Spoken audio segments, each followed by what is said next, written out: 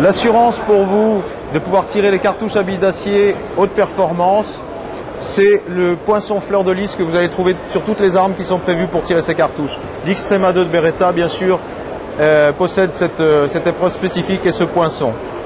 Comme autre caractéristique sur ce fusil, nous avons les parties en caoutchouc qui permettent une bonne prise en main, à la fois sur le devant et sur la crosse.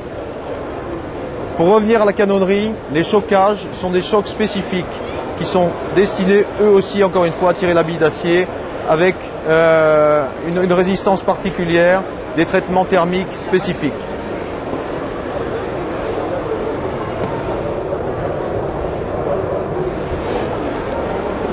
J'ai un petit peu fait le tour.